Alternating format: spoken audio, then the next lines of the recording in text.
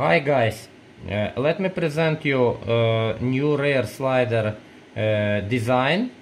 And uh, now it's uh, elastic.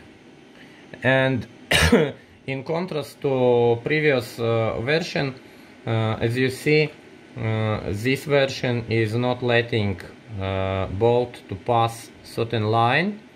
And there will be no jumps and no jams as it was pos still possible with uh, old version because uh, as you see if bolt goes all the way back uh, it's catch it catch uh, the rear slider and then it can be um, actually pushed by the string from below uh, forward uh, on an unpredictable distance.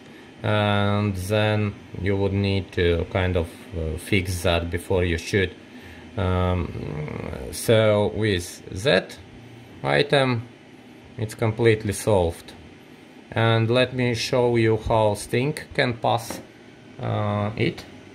So as you cock it so you can see that uh, the white guy is deformating and it actually remains behind the string. So at the moment when you will unload uh, the string uh, there will be no uh, energy discharge on this uh, white item.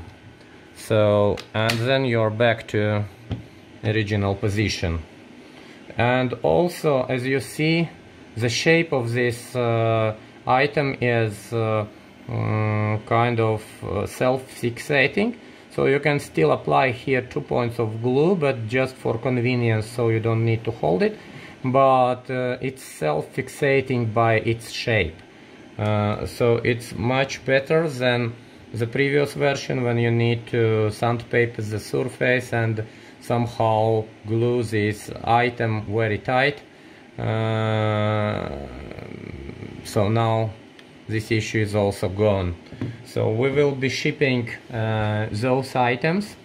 Uh, I would say that uh, such items should withstand uh, a few hundreds of shots uh, so or reloads.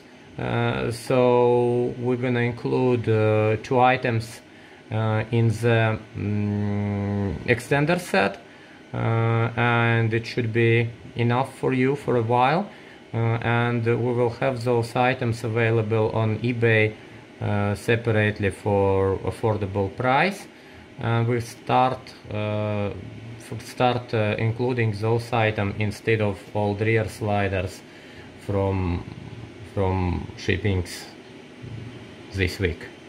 So thank you very much and hope now you will have no objections about this adder because uh, I, I, I saw that rumor says oh Cobra is jamming so now it's definitely not jamming at all. Thank you very much